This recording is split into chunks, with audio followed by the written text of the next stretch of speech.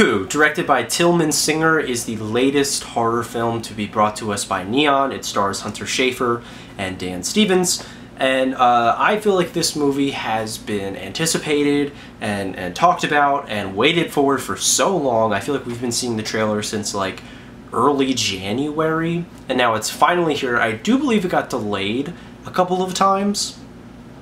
Excuse me. But it's finally here. I was really, really excited for this movie. Uh, the thought of Hunter Schafer um, spearheading a horror film, I think, really works one, she's one of my favorite actresses currently working and like one of my favorite celebrity personalities. I think she's just great. Um, but also I think her specific kind of style definitely uh, suits the role of like a slasher girl or you know like a final girl. Uh, I think, I don't know, it just works for me. And Cuckoo from the trailer seemed extremely like, you know, uh, it had cool and slick cinematography, the editing seemed cool, um, it just seemed like a very fun movie that was going to be a little bit off the wall. And when I finally sat down to watch it and took it all in and discussed it with my friends and stuff and, you know, really thought about the movie, I came to the conclusion that this was pretty mediocre. Cuckoo is a movie that isn't terrible by any means. It's definitely, like, watchable for the most part. It has ideas that I think uh, could have worked well. It has performances that work well it has the elements of a pretty cool horror movie. You know, it had the potential, but it never really capitalized on any of that potential. This movie really feels underdeveloped. That's kind of the key word that I took from it uh, when leaving the movie theater. It was very underdeveloped. Uh, there is no sense of character development or character relationship throughout any of the characters in these films. Uh, you really don't understand any of their motivations. In fact, a lot of these characters kind of contradict their own motivations. Um, you get certain relationships that just feel so half-assed and so, you know, underdeveloped, like I was saying, that it makes the movie feel super weak and kind of meandering, especially towards the first half of the film. It builds up this uh, mystique and intrigue throughout the first uh, act of the film, but then it never really capitalizes on that at all. It never delves deeper than the surface level of the ideas it's presenting to you, and I think that really undercuts any of the tension, any of the emotion, any of anything throughout this film. I do want to give a lot of credit to Hunter Schafer. I think that she mostly kills it here. She's not really given a whole bunch to do.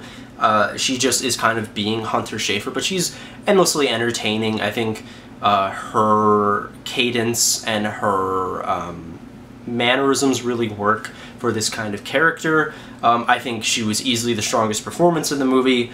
Um, she really sticks out like a sore thumb in a good way. The other performances just feel kind of there. Like Dan Stevens, I really don't see why people love him as an actor. I feel like he plays the same role over and over again, and he, in this movie, is just kind of a, a creep and nothing more. I, I think his line delivery is so ham-fisted and is always, always feels like he's trying so hard to get these words out that it just comes across as amateurish. Uh, and the rest of the actors, like, they, they don't bring anything to the table here. Honestly, I think the parents are a non-factor. There's a detective character that is completely useless. Um, it's disappointing is the main word I think I'm coming from performances here because they could have elevated what was a incredibly weak script into something kind of more schlocky and entertaining and it's instead it just kind of was mundane. I think the visuals are cool, uh, it's well shot enough uh, there are definitely some sequences where I was like, okay, that was pretty impressive, or oh, I really liked how they did that. Specifically a scene uh, where Hunter Schafer is riding a bike and a monster is creeping up behind her. I thought that was really well done. But other than, outside of those moments, I... I don't know. There's nothing for this movie for me to chew on. There's nothing for me to take away from it. There's nothing that really puts it over the hump of just being mediocre and and dull. This movie is incredibly dull, and I think that it's the opposite of what it should have been. It should have been more batshit insane. It should have been more off the wall. They should have thrown more stuff at us, instead of just kind of trying to work in this family drama and um, you know useless moments and scenes that that I don't know that they don't do anything for the narrative, don't do anything for the performances, don't do anything for the overarching story of the film. It's just bland, and I was left feeling pretty cold. And and I think that I'm going to forget about Cuckoo in the next couple of months, which sucks because this movie could have been really good. I wanted it to be really good, and it just kind of missed the mark. Again, not terrible, not like worst of the year list. Um, at all, but really not my thing, and I think um, is gonna let a lot of people down. I hope it doesn't like fail or flop really hard because I really want to see Hunter Schafer in more leading roles like this. I want to see her in other horror films, but um, this was just not one that I think ever got out of first gear. So I'm going to give Cuckoo a light two and a half out of five.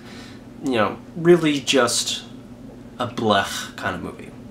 That's my review. Thank you guys so much for watching. Um, Cameron's here.